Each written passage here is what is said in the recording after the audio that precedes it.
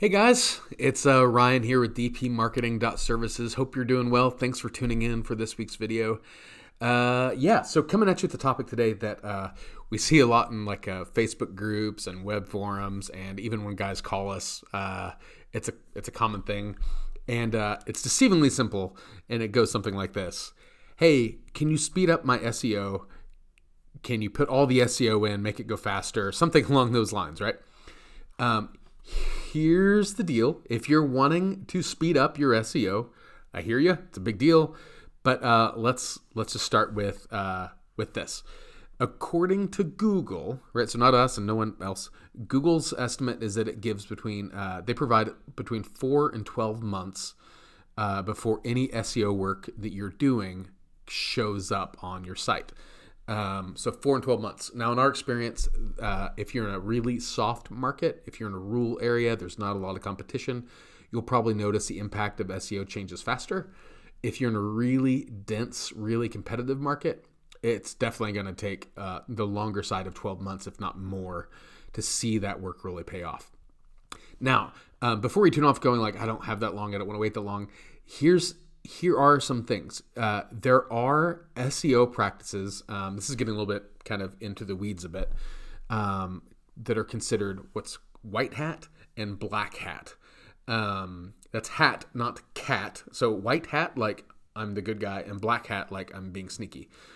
Um, and I'll put a link to an article that we've written about that. Um, it's been a bit, but I'll, I'll link the article so you can kind of read through the differences on what that means. But generally speaking, black hat SEO is about shortcuts.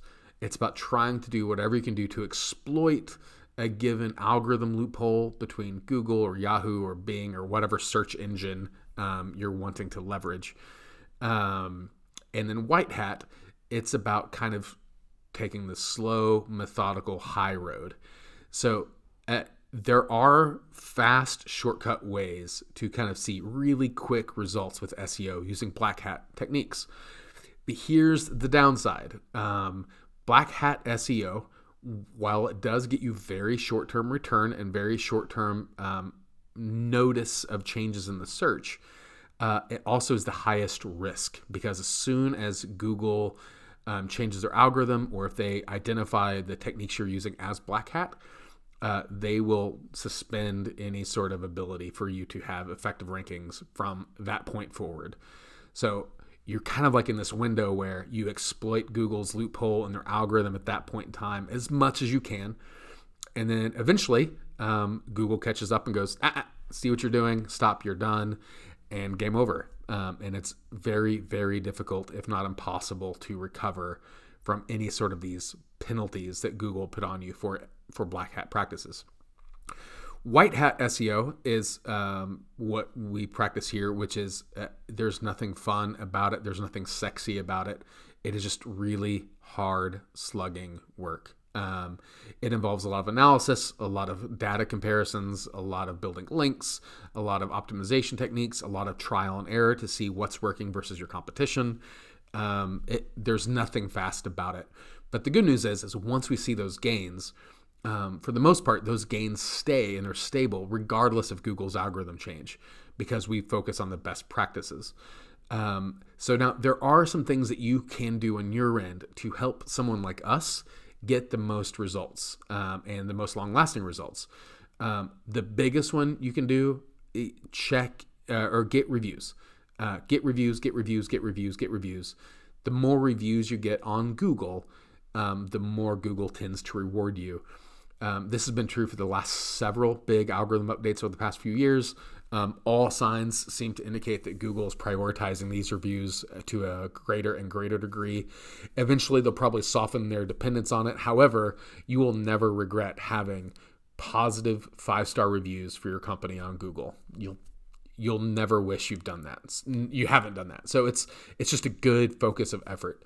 Um, so generally speaking, again, SEO, there is no shortcut way. There is no way to necessarily pay more. Um, so for the clients we work with, um, for the most part, it's like we assign people to the accounts. We can allocate a certain number of hours every month, and we can knock it out. You can pay for like I guess more hours, but it doesn't necessarily equate to Google uh, throwing back that credibility to you faster.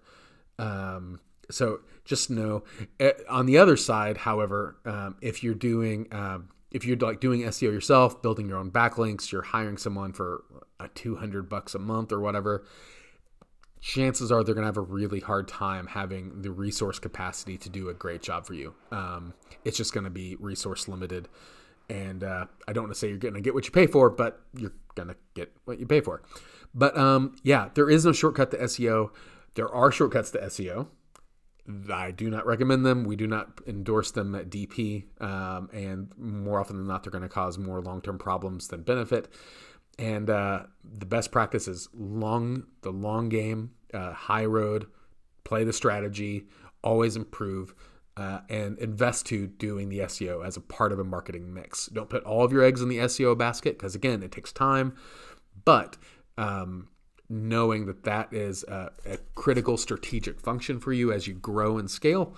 Um, SEO is something you can't leave on the sidelines. You have to keep it in the mix. But just know it's not short-term results. It's it's the long game. But when you win the long game, uh, it's it's fantastic. So um, that's it for today. Um, I'll link again to the blog below. I'd love to hear what your thoughts are. Um, fastest SEO results. Have you ever had an experience with like link penalties? um, that Google's assess on you for black hat techniques. I just love to hear from you. Um, leave a comment below. Um, as always, guys, follow us on Facebook, subscribe on YouTube, and uh, we'll see you next time.